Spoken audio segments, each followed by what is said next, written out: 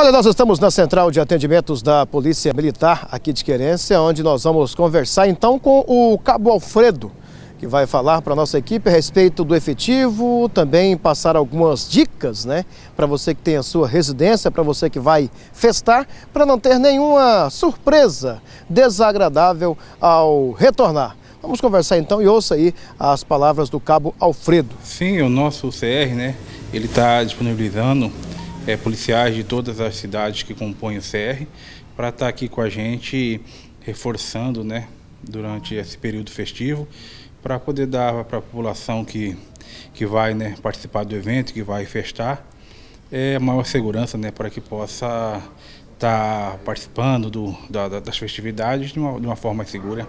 Tá certo. É, a questão também, o cabo, da questão de, de, pessoal beber e dirigir, a polícia vai estar atenta, né, para fazer cumprir a lei, né, e puni-los, né? Verdade, a orientação da Polícia Militar é, é, a mesma, né? até porque não é porque é um período festivo que, que, a, que as leis elas mudam, né?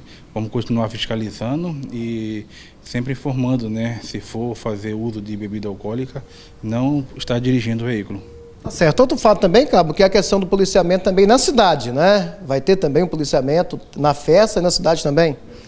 Verdade, nós estamos preocupados né, com a questão da festa, onde com certeza boa parte da população vai se fazer presente, mas a gente não esquecendo também do policiamento na cidade. Então o policiamento da cidade vai continuar da mesma forma ali, é, diuturnamente, para garantir também a segurança da população que fica né, aqui na cidade. Tá certo, queria que o senhor passasse também, Cabo, a orientação para a pessoa, pessoa que vão festar, né, que vai deixar as suas residências, né, muitas vezes sozinha. Qual seria a orientação de segurança para a pessoa não ter uma surpresa desagradável ao, ao retornar, Cabo? Sim, mesmo nesse período festivo, a Polícia Militar continua é, com suas rondas, né, continua é, fazendo policiamento e caso o cidadão saia da sua casa, sempre verificar se portas, janelas, portão está tudo trancado e, se possível, talvez informar um vizinho ali mais próximo que se houver algum barulho, alguma coisa estranha, está ligando 190 que a Polícia Militar vai se fazer presente de imediato.